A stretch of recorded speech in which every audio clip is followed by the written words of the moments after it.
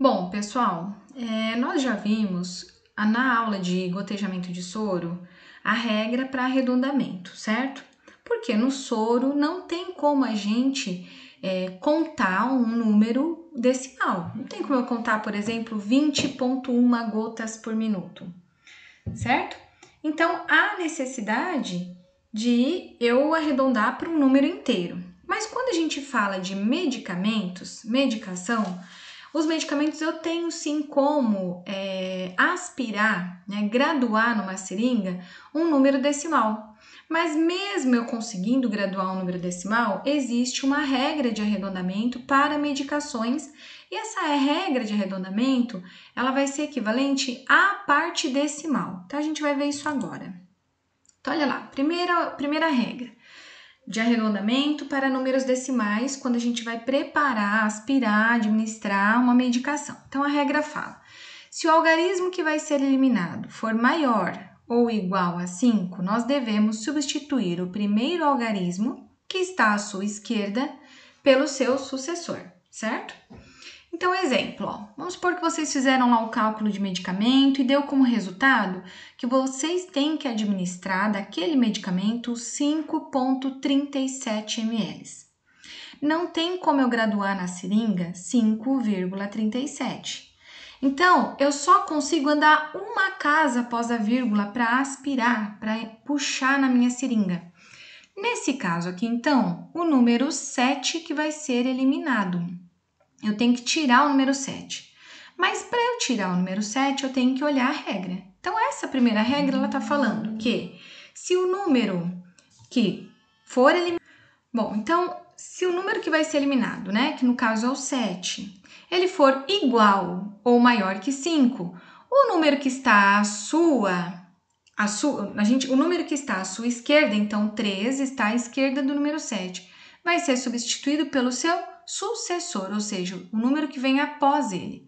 Então, o 3, qual que é o sucessor de 3? Qual que é o número que vem depois de 3? É 4.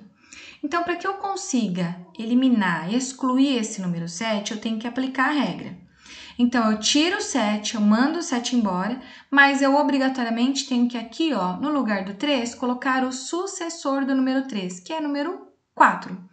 Então, a resposta vai ficar 5,4.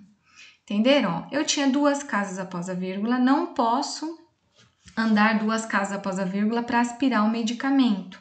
Eu tenho que eliminar a segunda casa após a vírgula. Só consigo andar uma casa. Então, eu vou aplicar a primeira regra, que fala que se o número que vai ser eliminado, no caso aqui o 7, for igual ou maior que 5, o número que está à sua esquerda vai ser substituído pelo seu sucessor, o sucessor do número da esquerda. Então, o sucessor de 3 é 4. A resposta, então, é 5.4, tá? A outra regra, ela fala o seguinte, ó, se o algarismo que vai ser eliminado, que é sempre a segunda casa após a vírgula, for menor, apenas menor que 5, o algarismo que está à sua esquerda deverá ser mantido. Então, aqui a gente tem 7,53. Vamos supor que vocês fizeram lá um cálculo de medicamento e deu que vocês têm que puxar, aspirar 7,73 ml daquele medicamento para administrar no seu paciente. Não tem como a gente pegar numa seringa 7,53. Por isso que a segunda casa do número decimal, quando a gente fala em medicamentos, sempre vai ser eliminada. Mas a regra fala que se o número que estiver à esquerda do número que vai ser eliminado, no caso aqui, né? Aliás, se o número que for eliminado for menor, menor que 5, o número que está à sua esquerda vai ser mantido. Então, nesse caso, eu simplesmente elimino 3 e mantenho 7,5.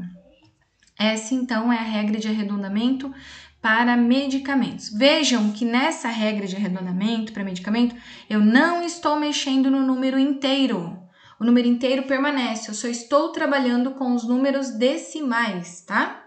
Com os, com os décimos, aliás, né? A parte decimal desse número, certo, pessoal? Bom, eu trouxe aqui para vocês alguns exemplos para vocês praticarem. Então, primeiro exercício. Foram prescritos 90 miligramas de ranitidina por via oral de 12 em 12 horas. Nós temos disponível o frasco de xarope de ranitidina de 150mg em 10 ml. Quantos ml devemos administrar? Lembrem que a gente vai começar pelo que a gente tem. Então, eu sei que eu tenho 150 miligramas num volume de 10 ml. O médico quer 90 miligrama embaixo de miligrama. O que eu preciso descobrir são os ml. Eu vou resolver todos esses exercícios, tá, pessoal, para vocês verem. O segundo exercício. Devemos administrar 40 miligramas de Lasix, que é furosemida endovenoso, de 8 em 8 horas. Nós temos disponível ampolas de 20 miligramas em 2 ml.